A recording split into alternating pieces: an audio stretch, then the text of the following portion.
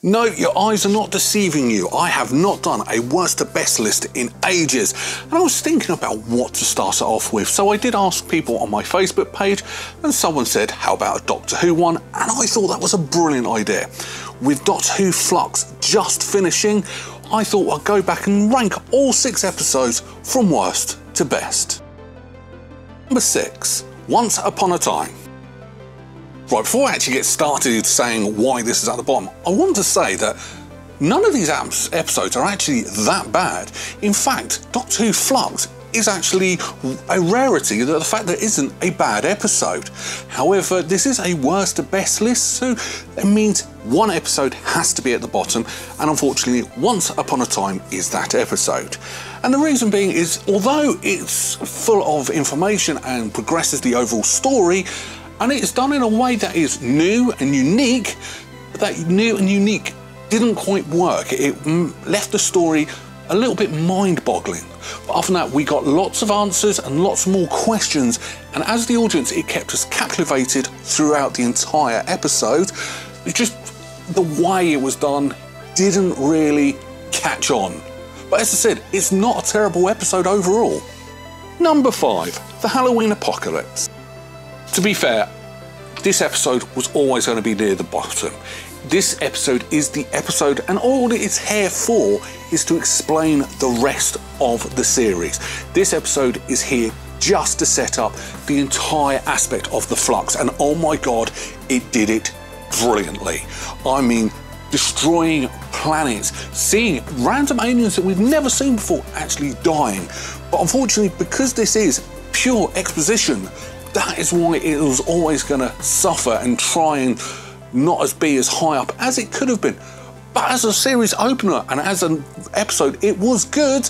It was just full of exposition. Number three, Survivors of the Flux. Let's face it, this series, episodes 1, 3, and 5, are purely there as exposition to set up the next episode.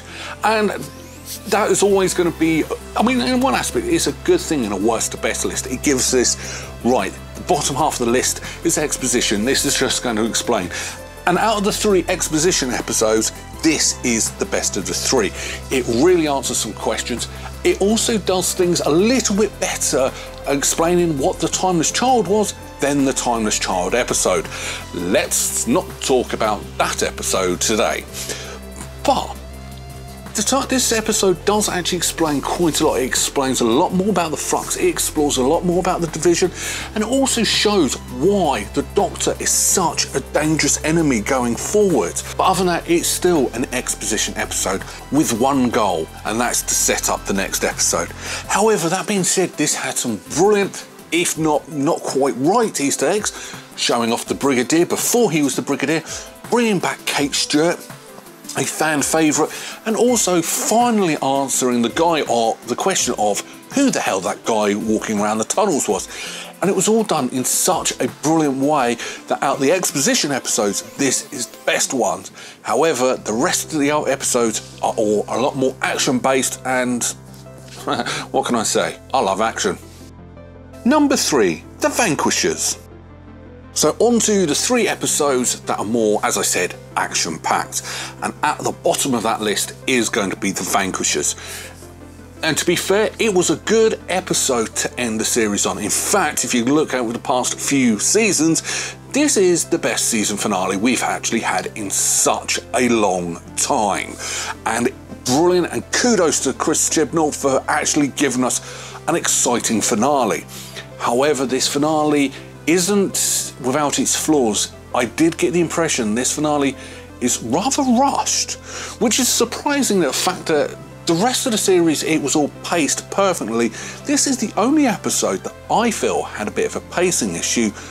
Like I said, it was just rushed.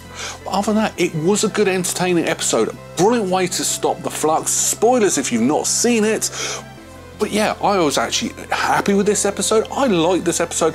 It was a nice way to end the series and it was a nice way to set up and drop the little snippets of what we're to expect in Jodie Whittaker's last three episodes that are coming up. I enjoyed this as a series finale. Not the best episode in the series, but still definitely worth a watch. Number two, War of the Sontarans. Now I'm going to be honest. First and second place are going to be very, we're always going to be very close, and I think there's going to be a lot of discussions in regard to what is the best episode and what is the second place episode because the last two episodes are absolutely amazing, absolutely brilliantly. However, I'm putting this one as the second, as number second, because let's face it, it is more of a stereotypical Doctor Who episode rather than an episode in an accomplished six-part drama, and that is the reason why I've dropped it. But other than that, it was brilliant. Fantastic for bringing the Sontarans back and making them more warmongering than ever before. And that line, I want to ride a horse. I have never laughed so much at a joke in Doctor Who. This episode was brilliant. It was historical. This is Doctor Who's strength, bringing in something historical, adding it to uh, futuristic stuff, and the fact that everyone gets their chance to do something over two different time frames. Brilliant, but not quite enough for the number one spot. Number one, Village of the Angels. Out of New Who, Blink is arguably the best episode of New Who. Fight me if you disagree with me, because I also think you're wrong. But that being said, I've since then, Weeping Angels have been a fan favourite that unfortunately have not had good treatment. So when it came to the past that Chris Chibnall was writing an episode about the Weeping Angels, a lot of people sighed, and we were wrong. They have never been as scary as this before. The uh, this story was brilliant. It made the angels deadly. It also brought in all the things that people didn't like about the angels, like the angels talking, but it brought it back in and brought it back in a good, fantastic way and made them eerie. And that was the brilliant and once again splitting across two time streams separating the main cast so they both have their adventures with the angels and actually really delving into how ruthless and evil these angels can be this has to be the top episode of Doctor Who Series 13 or Doctor Who Flux.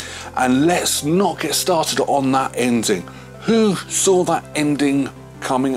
No one did. And that was brilliant. I was so gobsmacked I actually went and watched the episode literally again the moment it finished. It was that good. So, in, in my opinion, that is the best episode of Doctor Who Flux. But that we've discussed the entire series briefly and quickly. But what do you think? Is my order okay? Is do you disagree with me? Let me know in the comments below. I mean, there's only six entries in this list. I have got more entries coming up. There is an mega epic Marvel based list coming up with 70 entries. Please come back and check that out. If you like any of like this video and want to see more content, hit that subscribe button, join us on our Facebook page, but hopefully I get to see you again soon. Thank you very much. Bye bye.